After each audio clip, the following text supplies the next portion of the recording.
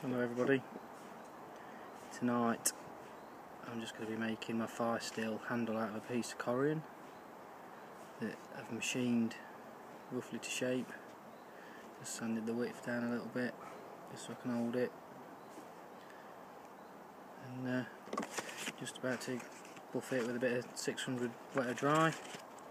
Smooth it off and then polish it with some T-cut.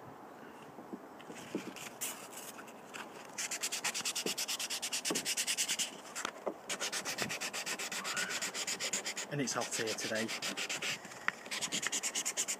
About 27.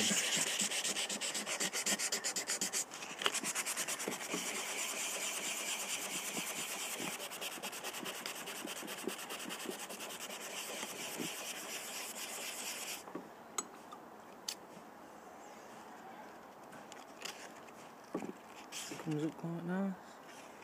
That'll match the handle on my Jacklore that Sandy's making for me at the moment.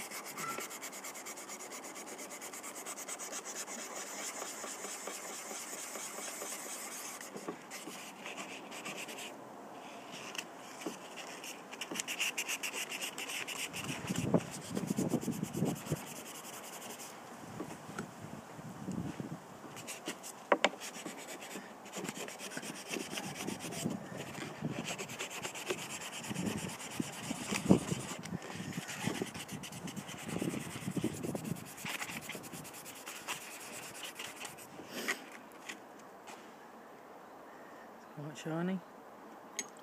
And we'll finish off with T-cut and that buffs it right up gets a nice gloss on it.